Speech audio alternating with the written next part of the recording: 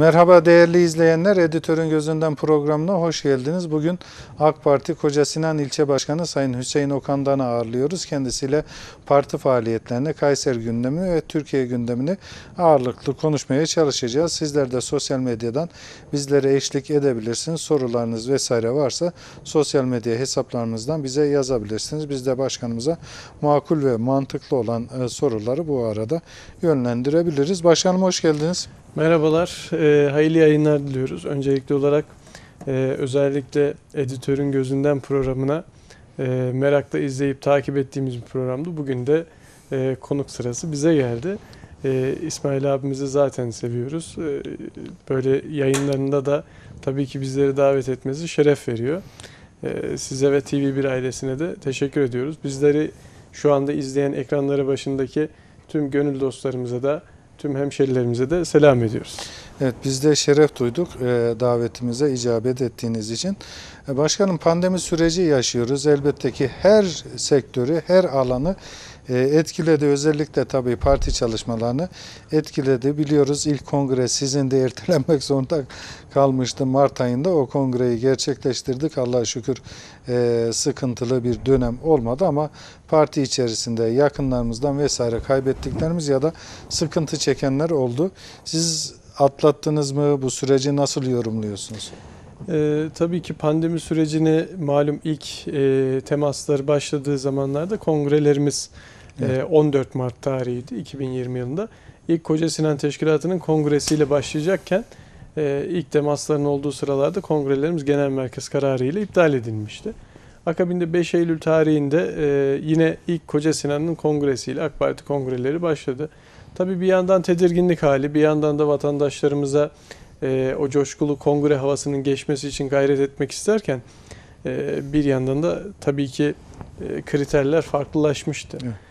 E, öncesinde bizim kongrelerimizde bir salonda ne kadar çok coşku, ne kadar kalabalık olursa o kongrenin heyecanını, o kongrenin e, kalitesini, güzelliğini ölçütlerken şu anda pandemi kurallarına daha nasıl uyar, nasıl bunlara e, bu sürece katkı sağlayan bir kongre olur bunun kaygısı içerisinde bir e, kongre gerçekleştirdik. O noktada da e, malum 7000 kişilik bir salonda yaklaşık 500 kişiyle organizasyon yapmak zorunda kaldık. Tabii ki öncelikli olarak en büyük hedefimiz e, tüm delegelerimizin, tüm teşkilat mensuplarımızın e, bilhassa sağlığıydı. Bunu riske atamazdık. Hatta bu e, programımıza da e, vatandaşlarımızı davet edemedik. Sadece delegeleri davet etmek zorunda kaldık. Böyle bir kongremizi gerçekleştirdik. Tabii 5 Eylül'den sonra da AK Parti'mizin, Kayseri Teşkilatımızın diğer ilçe kongreleri gerçekleştirildi.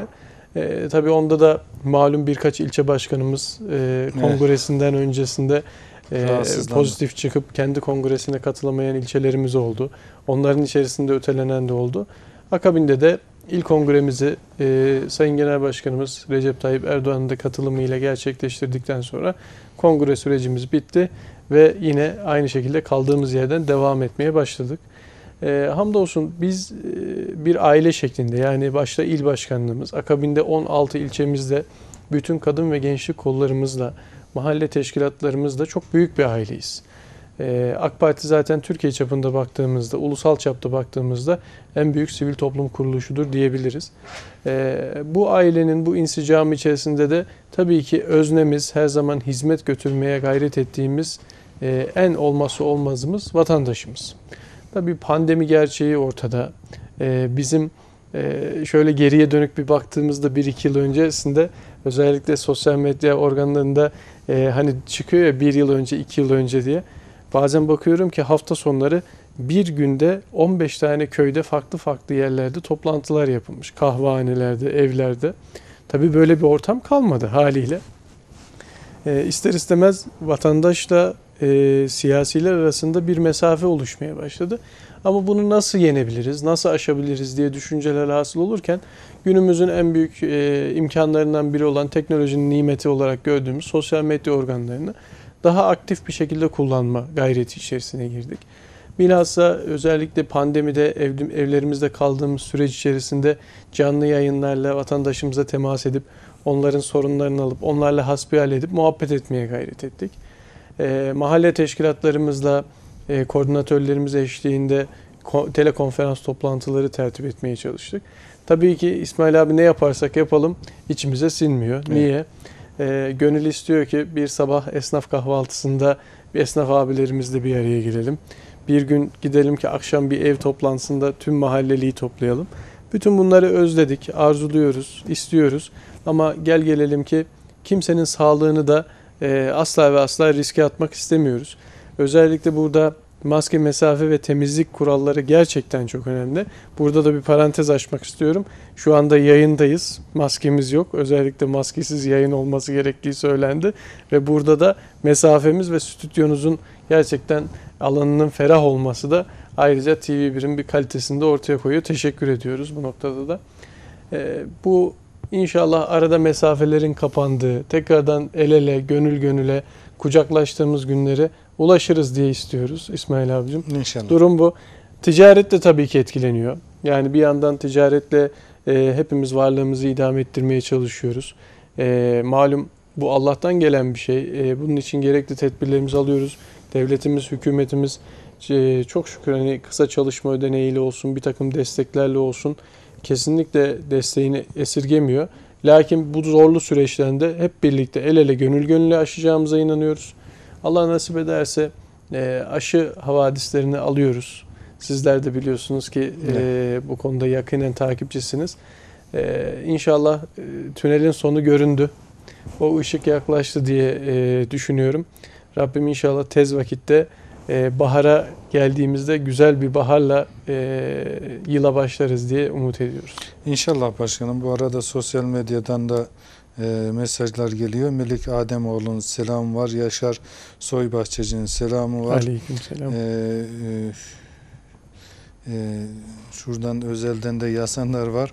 Hüseyin Bey'in e, parti yönetiminden Hüseyin Bey'in de Eker'in de selamı var. Bunları da iletmiş olalım. Cümleten Sosyal medyadan. aleykümselam herkese Sosyal ediyoruz. medyadan da e, yazmaya başladılar.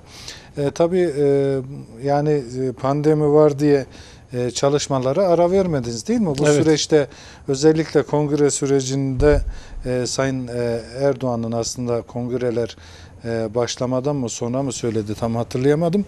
Üye e, kayıt çalışmalarına yönelik mesajları olmuştu. Her sene Evet. 4 milyona yakın seçmen e, dahil oluyor e, Türkiye'deki seçmen oranına. E, 1 milyon e, tabii ki hedef konuldu Türkiye genelinde. E, Kayseri'de de bu e, e, üye kayıt çalışmaları sürüyor. Hatta da güzel e, kareler paylaşıyor AK Parti. Eşeğin üzerinde vatandaşlarımız vesaire AK Parti'ye üye e, yapılıyordu. Koca Sinan ne durumda 16 ilçe içerisinde en son sırada mısınız, ortalarda mı, neredesiniz başkan? Tabii ki e, gönül seferberliği başlığı altında e, vatandaşımız da aynı şekilde temaslarımıza da e, bir takım tedbirlerimizi alarak üye kayıt çalışmalarımıza devam ediyoruz. Bizim ailemiz geniş bir aile. Biz herkesi kucaklamak istiyoruz. Gönül verenlerimizle bir arada olmak istiyoruz.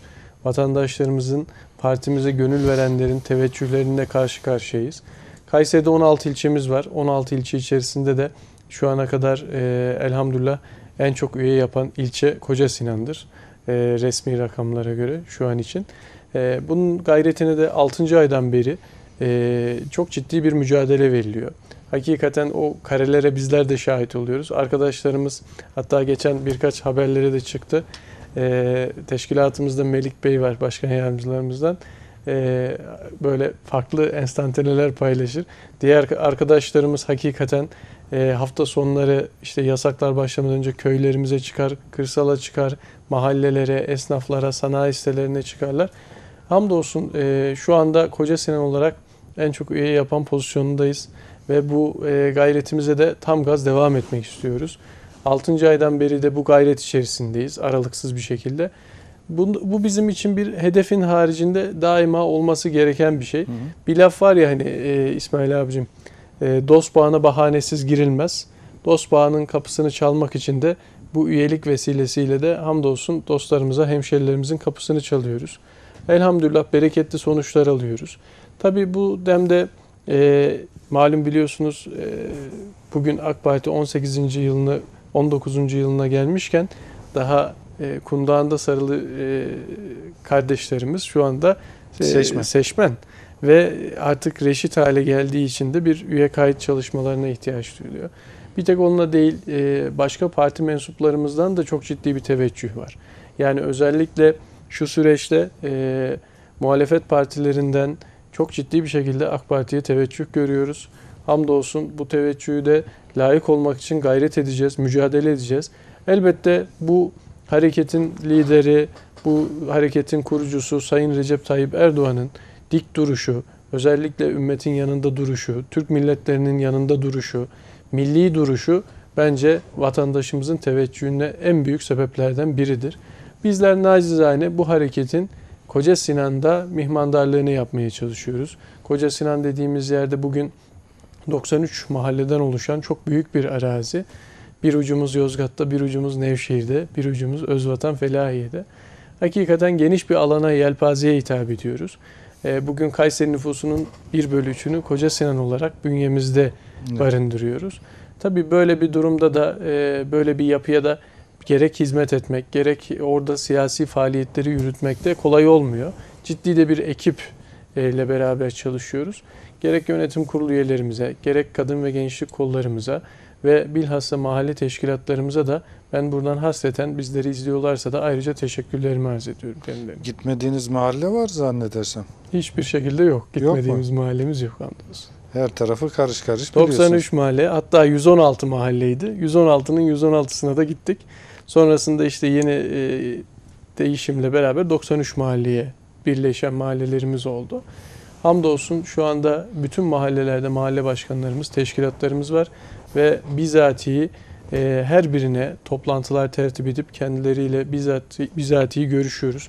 Ki pandeminin getirdiği şöyle de bir süreç oldu. Malum yüz yüze randevularımız biraz daha seyreldiği için telefon trafiğimizde çok ciddi bir artış oldu. Yani ortalama 20 ila 25 mahallemizde gerek muhtarı, gerek mahalle başkanı, gerek oranın delegesi veya oranın sakiniyle bir şekilde o mahallenin sorunlarını sürekli dinliyoruz. Çözüm üretmeye çalışıyoruz. Bunun için kendilerine dönüş sağlıyoruz. Uyum Ee, içinde çalışıyor bir musunuz başkanım? oluyor. Hem il, il teşkilatı hem de Kocasinan Belediyesi ile meclis üyeleriyle bir uyumunuz var mı? Tabii ki e, Koca Sinan Belediye'miz malum zaten biz göreve gelir gelmez e, kendimizi mahalli idari seçimlerde bulduk. E, Sayın Çolak Bayraktar'la gece gündüz hakikaten 90 gün belki e, doğru düzgün evimize gitmemişizdir diyebiliriz. Sonrasındaki süreçte de bütün parti faaliyetlerimizde olsun, belediye faaliyetlerinde olsun sürekli istişareli ve birlikte hareket etmeye gayret ediyoruz. E, bu pandemi sürecinde biraz daha bir takım programlarımız, açılışlarımız seyreldiği için onlar da e, biraz mesafe oluşuyor. Lakin biz her daim istişareli bir şekilde devam ediyoruz. Bunun yanı sıra malum meclis üyelerimiz, e, özellikle Koca Sinan'da şunu da belirtmek istiyorum.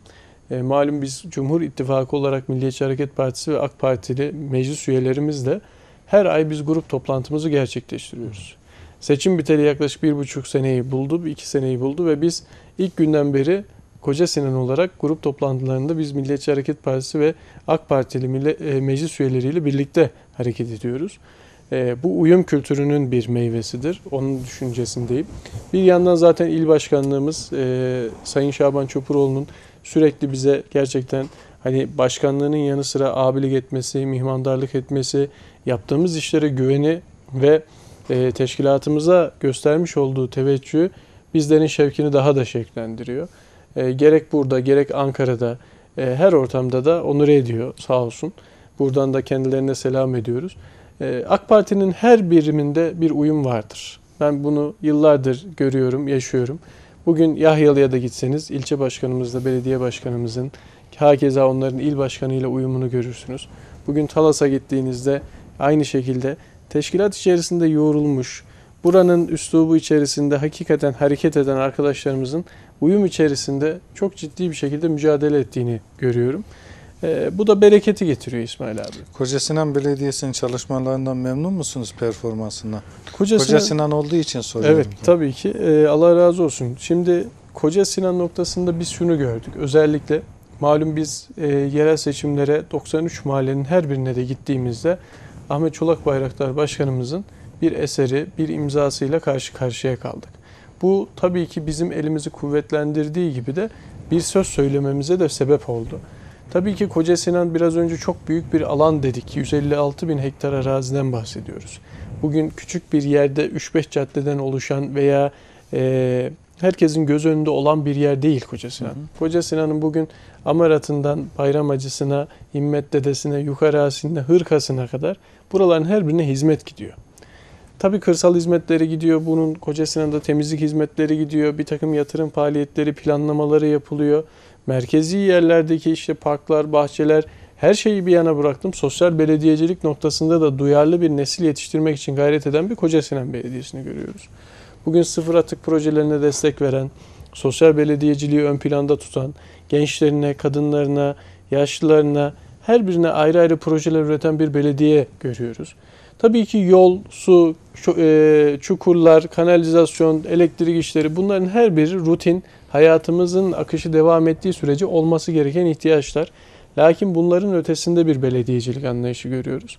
Bu noktada da Sayın Çolak Bayraktar'a hakikaten teşekkürlerimizi arz ediyoruz. Çünkü e, gayretli bir başkanımız var. E, şantiyeci bir başkanımız var. Aslı da zaten inşaat mühendisi olduğu için şantiye sahalarında bizatihi sessiz sedasız dahi olsa gece yarısı gider gezer koşturur. E, biz çalışmalarından, gayretinden memnunuz, uyumundan memnunuz. Allah inşallah güzel, daha güzel işler yapmayı nasip eder. Güzel işler yapılır. Güzel işler için gayret gerekir. Bu gayret var.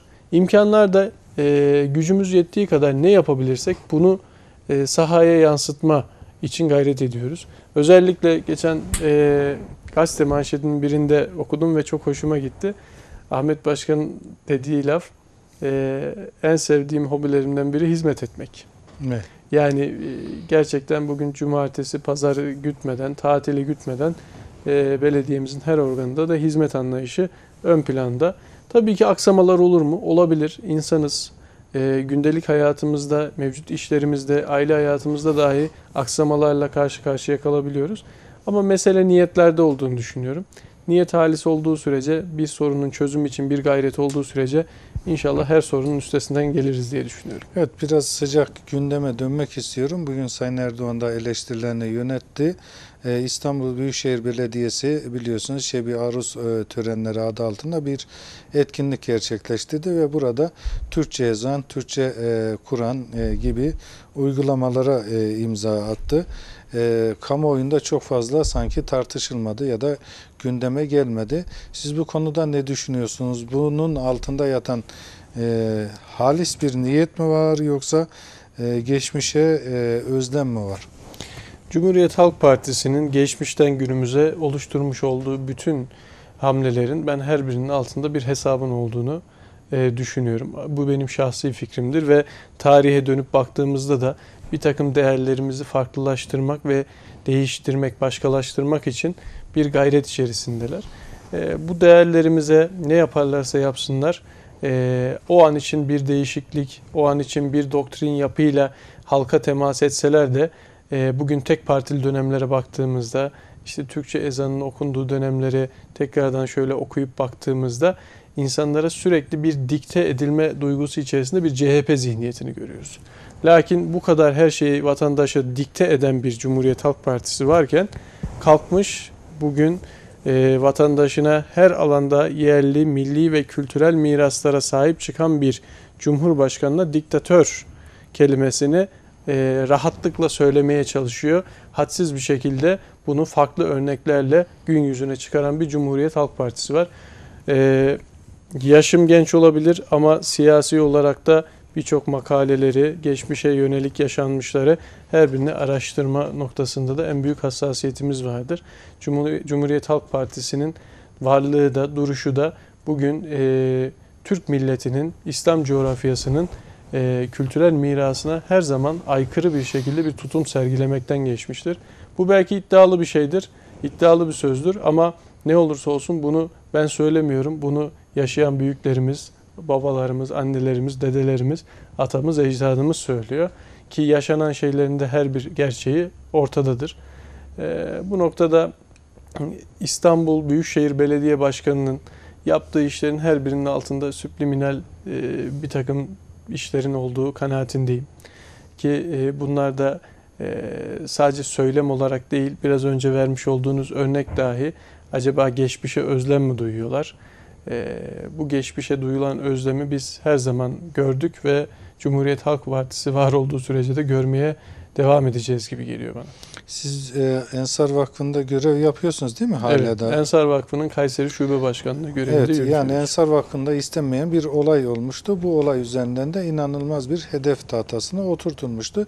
Yapılan iş ve işlem e, hakkında soruşturma açıldı. Bunu biliyoruz. Kesinlikle de tasvip etmiyoruz ama bugünlerde Cumhuriyet Halk Partili belediyelerden, yöneticilerden hemen her gün e, bir taciz ve tecavüz haberleri çıkıyor ve e, aslında buna karşı çıkmak gerekirken Cumhuriyet Halk Partililer Bunu bu konularda hiç seslerini çıkartmıyor.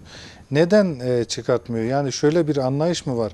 Bizim tecavüzcümüz olursa e, saklayalım, ondanki olursa ortaya çıkartalım anlayış mı? Şimdi öncelikli olarak yanlış bir kişinin olduğu sürece asla ve asla e, kurumlara mal edilemez gerçeğini biliyoruz. Bu ben yanlışsam, siz yanlışsanız Hı hı. bulunduğumuz kurumu bu e, herhangi bir şekilde etkilemez. Lakin şöyle bir durum var. Bugün Ensar Vakfı'nda yaşanan olay bağımsız olarak dışarıdan bir hocanın birkaç ailenin tasvibiyle beraber e, ısrarla ders vermesi ve o hocaya bir desteğini görüyoruz. Olayın yaşandığı yer Ensar Vakfı bile değil. Bir dönem çalışmış, orada görev almış bir şahıs. Lakin bu süreçte de mağdur olan ailelerin sonuna kadar yanında durmuş, avukat desteğini vermiş ve bunun için gerekirse idamı dahi meclise götürmeye razı olan bir vakıftan bahsediyoruz. 40 yıldır hayır hasenat için uğraşan bir vakıftan ilmiyle, milli manevi değerleriyle şuurlu bir gençlik yetiştirmek için uğraşan bir vakıftan bahsediyoruz. Bu vakfı ne kadar ki e, basında, sosyal medyada Cumhuriyet Halk Partisi kanalında nasıl sakız haline getirildiğine yıllarca şahit olduk. Ben bu noktada kesinlikle lafımı çekmeyeceğim. E, ve özellikle son süreçte de hani e, bir laf var ya sen bir yanlış yaparsan o yanlış döner seni bulur. E, onların yanlışı bu ayıbı sürekli gün yüzüne getirip sürekli burada bir kurumu zan altında bırakıp farklı bir şekilde pişirip pişirip bunu malzeme haline getirmesiyken bugün ayyuka çıkmış halde bütün il ve ilçe başkanlarında farklı farklı yerlerde maalesef maalesef konuşmaktan dahi haz almadığımız bir tabloyla karşılaşıyoruz. Böyle bir durumda kesinlikle hassasiyet içerisinde olmamız gerekirken bir milletvekili çıkıp meclis kürsüsünde, milletin meclisinin kürsüsünde böyle bir şey bizim partimizde var, olabilir diye bunu Evet. sıradanlaştırıyor. Bunlar asla ve asla bizim kültürel değerlerimize, ahlaki ortamımıza e, ve üslubumuza da uymayan tavırlar, üsluplar ve dediğiniz gibi e, biz her açıklamamızda da e, Cumhuriyet Halk Partisi'nde şunu gördük. İşlerine geldiği zaman da bir malzeme eğer gördülerse veya kafalarınca bir malzeme ürettilerse e, yalanı doğruymuş gibi söyleyip akabinde kendilerinin bir e, sıkıntılı bir durum olduğunda da veya o yalanlarını gün yüzüne çıkardığımızda da adeta e, kafalarını kuma gömdüklerini gördük. Biz bunu yakın zamanda özellikle dile getirmek istiyorum. Güneşli mahallemizde bir çiftçi kardeşimizi Cumhuriyet Halk Partisi'nin il başkanı kendi parti binalarındaki kürsüsüne çıkartıp milletin mera arazisinde bugün sizin de hakkınız vardır, benim de hakkım vardır, köy halkının herkesin hakkı vardır. Bunların her birine sanki kendi arazisinde ekim dikim yapmış ve devlet ceza yazmışçasına bir malzeme üretmeye Hı. çalışırken biz hemen akabinde çıkıp da ya bunlar şu tarihte şöyle olmuştur, e, şu haklarla e, vatandaşımıza sunulmuştur, ibra edilmiştir deyip olayın gerçek yüzünü gün yüzüne çıkardığımızda maalesef asla ve asla cevap verilmediğini gördük. Akabinde de e, benzetmemiz yine aynı olacak. Kafalarını kuma gömüyorlar. Kendi yalanları ortaya çıktı mı veya kendi ayıpları çıktı mı da o sessizlik, sükuneti görüyoruz. Cumhuriyet Halk Partisi maalesef böyle. E, bunu bilenlerimiz de var. Vatandaşlarımız da hamdolsun e, herkese gereken cevabı veriyor diye düşünüyorum. Siz diktatörün partisinde mi görev yapıyorsunuz başkanım?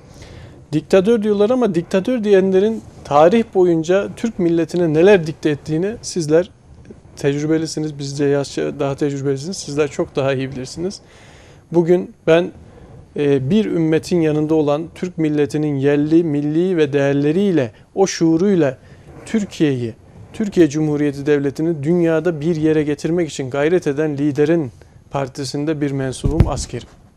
Bu kadar net söylüyorum.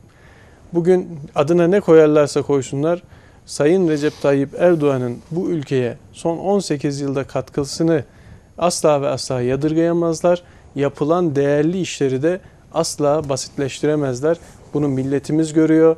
Bunu istedikleri yayın organından, istedikleri basın maşalarıyla gün yüzüne çıkarsınlar. Yapamazlar çünkü milletimiz bunu gayet net görüyor. Ee, zannediyorlar ki balık hafızalı bir milletiz.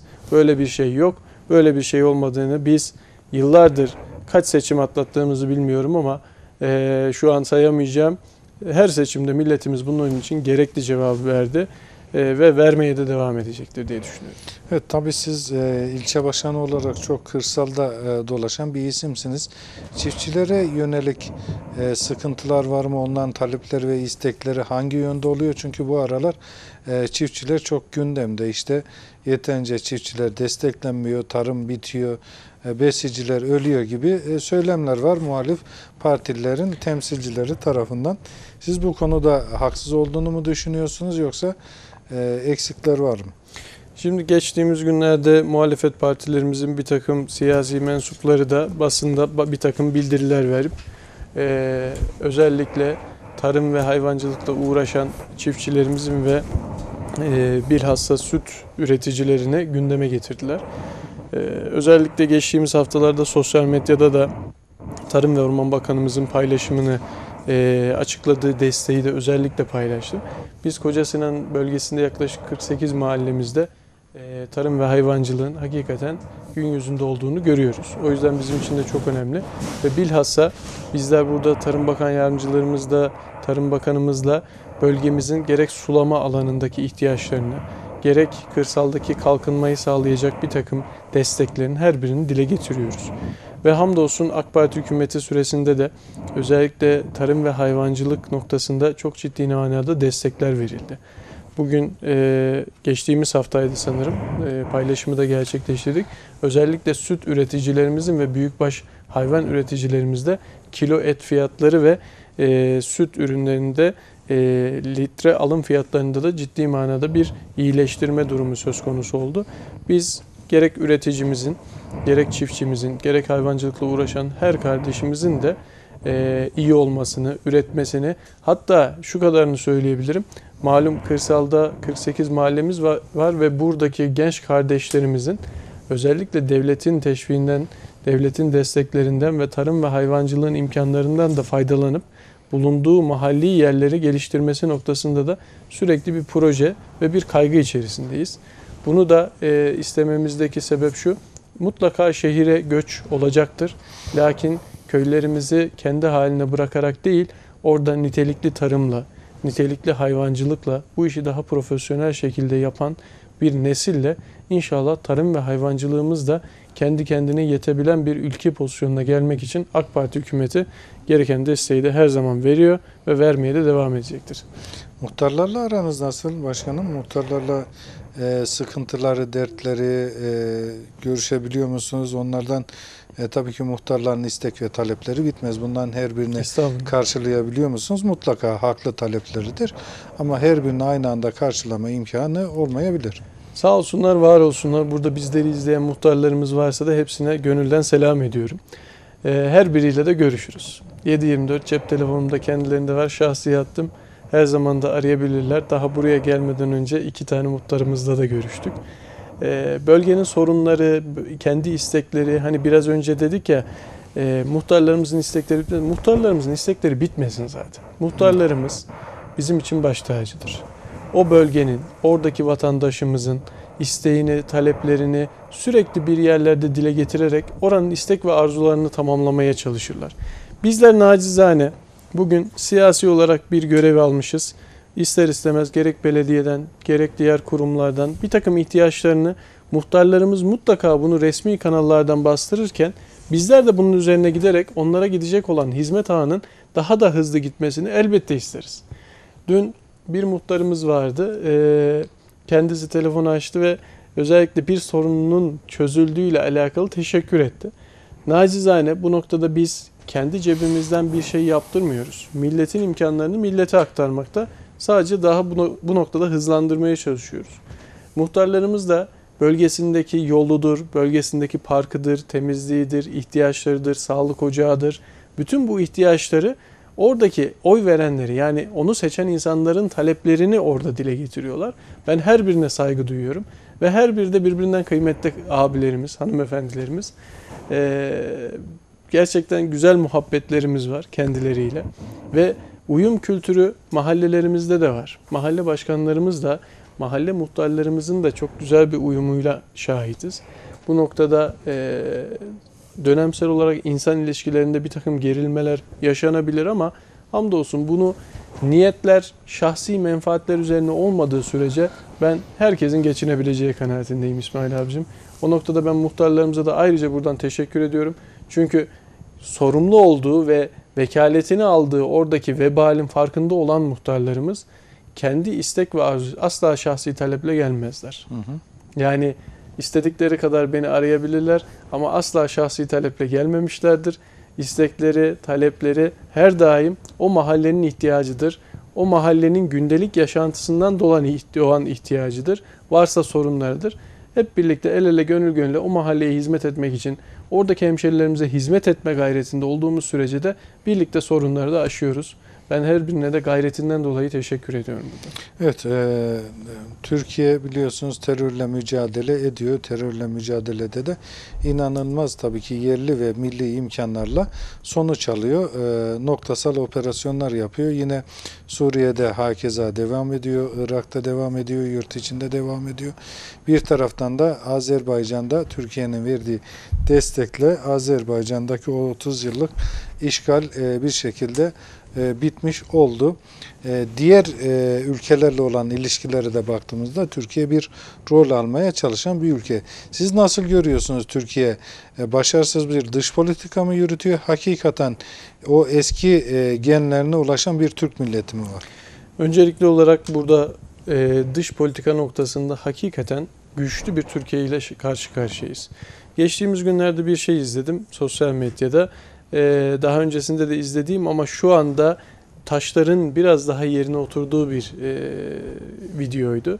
E, rahmetli Sayın Muhsin Yazıcıoğlu'nun bir TV programında özellikle Karabağ e, işgal altındayken e, Türkiye Cumhuriyeti Devleti'nden destek neden istenmedi? Niye Türkiye Cumhuriyeti oraya bir helikopter dahi göndermedi? Bunlar konuşuluyordu. Ve gerçekten güler misin, ağlar mısın, acınır mısın? Yani çok farklı bir tablo. O gün oradaki bizim can kardeşlerimiz e, Karabağ'da sürülürken, Ermeni işgalinde altındayken e, oradaki maalesef masum insanlarımızın katledildiğine şahit olurken e, o gün Muhsin Yazıcıoğlu Türkiye Cumhuriyeti Devleti'nin e, iki tane helikopter dahi gönderemeyeceği durumunu dile getirirken bugün 2020'nin Türkiye'sinde hamdolsun İHA'larımızla, SİHA'larımızla, helikopterlerimizle, bütün milli, yerli ve milli savunma ekipmanlarımızla ve Türk Silahlı Kuvvetlerimizle bugün Karabağ, işgal altındaki Karabağ'ın tekrardan Azerbaycan e, Azerbaycan'a geçişini hep birlikte kutladık. Hepimizin göğsü kabardı ve hala ve hala ben her konuda muhalefeti anlıyorum. Sayın İsmail abicim. Her konuda muhalefeti anlıyorum ama özellikle milli savunma noktasında kendi ürettiğimiz yazılımlarla, kendi ürettiğimiz İHA'ları, SİHA'ları, roket atarları, helikopterleri eleştirmenin asla ve asla milli bir muhalefet olduğu kanaatinde değil. Yani burada net bir fikrim var. Bütün bunlarla 2020'nin Türkiye'sinde, 2020'nin dünyasında bugün pandemiyle boğuşan bir batı var. Burada iflas etmiş, sağlık sektörünün iflas ettiği, e, bu noktada hizmet veremediği, ülkeden insanların kaçmaya çalıştığı bir batı var. Bu batının maalesef ve maalesef bugün İslam'a karşı pervasızca açıklamaları var. İslam'ı yok sayacak girişimleri var ve ülkenin çok ciddi mekanizmalarında olan yöneticilerinden biz bunları duyuyoruz. Bütün bunların karşısında dünya beşten büyüktür diyen, batıya karşı dünya beşten büyüktür diyebilen bir liderle karşı karşıyayız. İslam ülkelerine baktığımızda, Orta Doğu'ya baktığımızda bugün mazlumun yanında olan bir Türkiye var. Bugün Libya'ya asker çıkarıldığında ne kadar eleştirildiğine şahit oluyoruz. Bugün oradaki pozisyonumuzda nasıl bir pozisyondayız bunu bilmemiz lazım. Rusya ile ne alemdeyiz bunu bilmemiz lazım. Azerbaycan'ı yok sayamayız. Irak, e, İran'ın duruşu zaten ortada. E, Bugün Suriye'ye baktığımızda Suriye gerçeğinde Türkiye'nin ne kadar bu işi göğüslediğini hepimiz biliyoruz, yaşıyoruz, içerisindeyiz. E, batı'ya baktığımızda bugün insanların gıptayla baktığı, imrendiği, e, batı batı diye peşinden koştuğu bir durumda batının ne hallere düştüğünü görüyoruz. E, bütün bu kargaşanın içerisinde e, Mevlüt Çavuşoğlu da hakikaten takdir edilecek bir bakanımız. İşi gücü rast gelsin. Tabii ki liderimizin duruşu, onun ilmi siyasetiyle beraber gerektiği yerde gereken ülkeye de gereken cevabı da çok net bir şekilde verebiliyoruz. Bütün bunları diyebilmemiz için evvela kendi kendimize yeten, yerli ve milli bir duruş sergileyebilen, bütün bu duruşu sergilerken de değerlerimizi başkalaştırmayan, özümüze dönen bir ülke haline geldik. O noktada ben bugün 2020'yi sonlandıracağız, 2021'e adım atacağız. Nasıl bir şekilde sorunlarla karşılaşacağımızı bilmiyorum ama yeni gelişen ve yeniden kurulan kartlarla yeniden oluşan dünya düzeninde artık eski Türkiye yok. Kendine yetebilen yerli ve milli duruşuyla, milli manevi şuuruyla var olan bir Türkiye var. Bu noktada inşallah bizler, bizden sonraki nesiller daha da güzel işler yaparak bu ülkeyi ilelebet payidar kılacak şey- işlere imza atacaktır diye düşünüyorum. İnşallah bu pandemi süreci ekonomiyi çok etkiledi. Siz de iş dünyasının bir temsilcisiniz. Ee, tabii ki e, sektörün canlandığı alanlar olabilir. Maskedir, dezenfektandır vesaire ama en çok hizmet sektörü çok sıkıntı çekiyor. Çok da fazla talepler geliyor. İşte mesela lokantalar, kafeteryalar vesaire desteklemelerinin yetersiz olduğunu ya da her yerde uygulanan HES kodunun da bu tarz esnaf gruplarında da uygulanması gerektiği yönünde e, şeyler var, istek ve talepler. Bunları konuşuyor musunuz parti e, içerisinde? E, Genel merkeze bu e, şikayetler geliyor mu size? İletiyor musunuz başkanım? Yoksa kulakları tıkayıp aman esnaf konuşursa konuşsun bize ne mi diyorsunuz? Ee, İsmail abicim öncelikli olarak biz de bu memleketin çocuğuyuz. Biz de esnafız, biz de ticaret yapıyoruz. Biz de berbere gidiyoruz, biz de düğün salonlarında düğünlere katılıyorduk. Biz de lokantalarda yemek yiyoruz. Oradaki bir sürü kardeşimiz var, dostumuz var, arkadaşımız var. Evvela şunu söylemeliyiz. Biz vatandaşımızla zaten beraber iç. Bunlara kulak tıkamamız mümkün değil. Tabii ki siyasi olarak elimizden gelen neyse sorunların sürekli Ankara noktasında dile getirilmesi için elimizden gelen gayret içerisindeyiz. Geçtiğimiz günlerde belki sosyal medyada sizin de dikkatinizi çekmiştir. İl başkanımız bir takım meslek komitelerinin, derneklerin başkanlarıyla bazı toplantılar tertip etti. Derdimiz şu, meslek komitelerinin dertlerinin dinlenmesi. Bu noktalarda sorunların tespit edilip acaba nasıl bir çözüm üretilebilir? Bunların önerilerinin Ankara'ya iletilmesi için elimizden gelen gayreti sarf ediyoruz. Elbette bu Allah'tan gelen bir şey. Lakin devletimiz de hakikaten yaklaşık 3. ay itibariyle çok ciddi bir 9 aydır bu pandemiyle bir mücadele içerisindeyiz. Ve bugün yeniden e, baktığımızda kısa çalışma ödeneğinin 28 Şubat tarihine kadar da 2021'in 28 Şubat'ına kadar da tekrardan uzatıldığına kararını aldık. Ve devlet bu noktada can siperhane bir mücadele içerisinde. Hakikaten. Ama e, bir noktada da birbirimize istişare etmemiz, anlayış içerisinde olmamız da gerekiyor. Biz asla ve asla kimseye kulak tıkamadık şimdiye kadar. Çiftçimiz de olsun, hayvancılıkla uğra- uğraşan kardeşimiz de olsun, hangi meslek komitesinde olursa olsun tüm dertlerin içerisinde olmaya, var olmaya çalıştık. Zaten e, gündelik hayatımızda da ticarette uğraştığımız ve birçok meslek grubuyla iç içe olduğumuz için bir de siyasi kimliğimizi bilen kardeşlerimiz haliyle bu meselelerin her birini bizlere anlatıyor. Bizler milletvekillerimize, bizler Ankara'daki dostlarımıza, il başkanımıza bu sorunları dile getiriyoruz. Oralarda oluşturulan komisyonlar, meslek komiteleri, ticaret odaları, sanayi odaları aynı şekilde buralarda da bu sorunların istişareleri yapılıyor. Tabii ki bir gerçek var. İl Hıfzı Saha Kurullarının, bilim kurulunun ve şu andaki pandemi mücadelesinde de bazı kararların alınması gerektiği için alınıyor. Bugün e, devlet kısa çalışma ödeneğini ödemese, hiçbir şeyi e, desteği vermese bugün devletin kasasına para kalacak. Her yeri açsa. Ama bunda da ne olacak? Bugün 200'ün üstündeki ölüm sayısı belki 500'lere, binlere çıkacak. Belki Bugün e, hamdolsun daha dün sizler de gazetede haber yaptınız. Vakalarımızda düşüşlere şahit oluyoruz. Bugün şehir hastanemiz e, de işte %56'lık 60'lık oranında bir doluluk durumu söz konusu. E bunların hepsinin pik yaptığı bir durumu düşünsek işin içinden çıkılmaz bir hal alacak. O yüzden hepimizin bu mücadele içerisinden e, anlayışla çı- çıkmamız gerektiği kanaatindeyim. Devletimiz bu noktada kesinlikle kayıtsız e, kalabilecek veya bu işte e, iflas edebilecek bir şeysi yok. Pandemiyle mücadele ettiğimizde biz köprüleri açtık. Pandemiyle mücadele ettiğimizde yerli milli savunma cihazlarımızı, motorlarımızın açılışlarını yaptık. Pandemiyle mücadele ederken terörle mücadele ettik. Bunun yanı sıra e, kardeş ülkelerimizin işgal altında olan kardeş ülkelerimize destekler sağladık. Bütün bunlar devam ederken de hamdolsun yeni yatırımlar nasıl yapacağız? Bunun kaygısını güden bir Türkiye içerisindeyiz. E, tabii şunu da unutmamak lazım. Doğalgazı da bulduk. Bugün altın rezervleri de bulduk. Hamdolsun. Çıkartamazsınız onları. Evet, Öyle diyorlar. bunları da çıkartamazsınız diyorlar. Ee, Enerji Bakanımız Fatih Dönmez de bunu açıkça dedi. Bulamazsınız dedik, bulduk. Ee, yapamazsınız dedik, dediniz, yaptık. Şimdi de çıkaramazsınız diyorlar. Onu da inatla çıkaracağız dedi. Ee, biz devletimize de inanıyoruz. Devletimizin daha iyi olması için gayret edenlerimize de inanıyoruz. Milletimizden de bizlere inanmasını ve güvenmesini buradan rica ediyoruz. Aşı tartışmalarına nasıl bakıyorsunuz başkanım? Özellikle siz e, yani e, Kayseri'de kanaat önderleri arasında yer alıyorsunuz. Sonuçta e, bir ilçe başkanısınız, iktidar partisinin ilçe başkanısınız. Sosyal medyaya bakıyoruz. E, yani bilimsel hiçbir veriye e, dayalı olmadan kendini şair olarak nitelendiren, başka şekilde nitelendiren insanlar ahkam kesiyor. Yok çip takacaklarmış, yok işte aşılar faydalı değilmiş.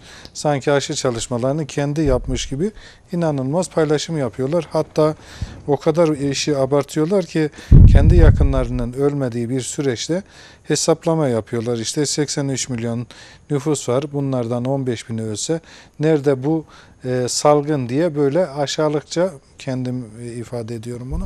Mesajlar paylaşıyorlar. Kendi kızı ölmüş olsa, oğlu ölmüş olsa, annesi ya da bir yakın ölmüş olsa herhalde o hesaplamayı biraz zor yapar. Siz nasıl bakıyorsunuz? Vatandaş bu konuda niye bilinçli kasıtlı olarak e, algı yönetimiyle yönetilmeye çalışıyor? Siz aşı yaptıracak mısınız? Ee, Sayın Şahin, öncelikli olarak siz sağlık sektörüne belki bir fiil içerisinde olan Evet. biri olarak bunu e, daha da iyi e, anlayan, dinleyen biri olarak bunları yorumlayacağımızı düşünüyorum. Öncelikli olarak e, şu 9 aylık süreçte ki bilhassa son 5-6 aylık süreçte de artık bu yakın çevrelerimizden çok daha duyar olduk. Pandemiden dolayı yaşamını yitiren e, onlarca dostumuz, akrabamız, büyüklerimiz oldu. Hepsine Allah'tan rahmet diliyoruz. Hepimizin, sizlerin, bizlerin yakınları vefat etti. Allah'tan rahmet diliyoruz. Günlerce yoğun bakımlarında entübe halde duran, gerçekten bu işin ızdırabı içerisinde biraz önce yayından önce görüştük sizle bir sağlık çalışanımızın Evet. 50 günlük yoğun bakım süresinden bahsettiniz. E bunlar gerçek olan şeyler. Hayal konuşmuyoruz. Onların yakınları var, onların çoluğu çocuğu var. Bu şekilde mesnetsizce bir yorum açıkçası başına bir şey gelmeden bir insanın e, onun imtihanına girmeden yorum yapması kolaydır diye düşünüyorum. E, aşı noktasında burada hükümetimiz ne kadar bir gayret içerisinde biliyorsunuz. Aşı olaylarında bizler adına da sevindirici de bir olay oldu. Erciyes Üniversitemizde faz 1, faz 2 aşamalarında uygulandı. Hamdolsun olumlu da ilerliyor. E, dileğimiz ve temennimiz bu işin sona ermesi. Bu nasıl gelecek? Tedbir alacağız bir yandan ama hayatın gerçekleri var. E, yaşayacağız bir yandan bunun antikorun üretilmesi için bir aşıya ihtiyaç var. E, aşı gerçeği neticede burada ülkemizin bir Sağlık Bakanlığı mekanizması var ki hakikaten en çok minnet duymamız gereken bir yer şu anda. Ben Sayın Fahrettin Koca olsun, İl Sağlık Müdürümüz Sayın Ali Ramazan Benli olsun ve bütün başhekimlerimiz, sağlık çalışanlarımıza buradan minnetlerimi ve şükranlarımı sunuyorum. O bir gerçek var. Kendilerinin bir mücadelesi var. Bu mücadelenin sona ermesi için de bunlar çözüm yöntemiyken toplumda aslı astarı olmayan farklı savsatalara ve farklı algılara sebebiyet verecek açıklamalar gerçekten topluma e, yapılabilecek en büyük hainliktir. Öyle düşünüyorum. Aşı yapılacak yapacak mısınız noktasına da gelecek olursa devletim neyi öngörüyorsa vatandaşı için ben devletimin öngördüğü aşıyı gönül rızamla yapacağım. Gerekirse bunu da basın önünde, sosyal medya önünde de yaptığımı da açıklayacağım. Neticede ben devletime güvenen biriyim. Devletim de şu anda bu pandemi mücadelesinde gerek sağlık çalışanlarımızın çok ciddi mücadelesiyle gerek de vatandaşlarımızın ciddi hassasiyetiyle artık sevdiklerimize kavuşmaya ihtiyacımız var.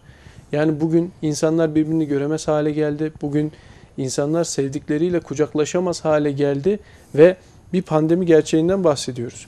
Bütün bu mücadeleyi verirken, ekonomik mücadeleleri verirken, ayakta kalmak için mücadele verirken biz bu tip bir çözüm yöntemini bulmuş veya bunu önermişken bunu farklı algılarla toplumun e, fikrini, kamuoyunun fikrini yanlışa yönlendiren bir e, akla ben açıkçası çok saygı duymuyorum. Evet. Başkanım süreyi de açtık. Hatırlatmak istediğiniz, duyurmak istediğiniz ya da ya şu konuyu da gündeme getirseydim İsmail Bey sormadı dediğiniz bir konu varsa onu da alıp bitirelim. Çok teşekkür ediyorum. Hakikaten e, bu şunu gönül e, gönlümden gelerek söylüyorum. Sizle zamanın nasıl geçtiğini anlamıyoruz. Yani birkaç soru olsun. gündem geçiriyoruz. Hemen saatimiz doluyor. Ama özellikle buradan e, herhalde bir saate yakın bir zaman oldu. Evet. 45 dakika bir saate yakın bir zaman oldu. Bu zaman diliminde bizleri izleyen, dinleyen e, tüm hemşerilerimize ben e, gönül dolusu, dolusu selamlarımı iletiyorum. E, Rabbimden de e, bir an evvel sağlık, e, sıhhat diliyorum. Özellikle şu anda bir mücadele içerisinde, sağlık mücadelesi içerisinde olan tüm sağlık çalışanlarımıza da ayrıca şükranlarımı sunuyorum. E, dileğimiz ve temennimiz hep birlikte el ele, gönül gönüle, fitneden, fesattan uzak, e, devletimize güvenimizin tam olduğu günlerde inşallah e, daha güzel günlere ulaşacağımızı umut ediyorum. Koca Sinan İlçe Başkanlığı olarak da Buradan bizimle beraber emek veren tüm kardeşlerime sonsuz teşekkürlerimi sunuyorum. Koca Sinan'da ikamet eden kardeşlerimizin de AK Parti'mize üye olmasını canı gönülden isterim.